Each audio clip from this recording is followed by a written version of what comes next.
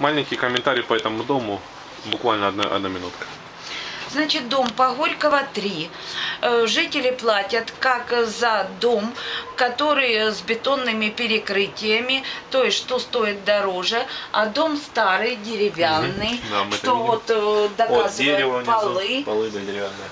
стены, вот они, они э, дерево. Ага, ага. П- Пойдемте, Вот. пойдемте. Пошлите.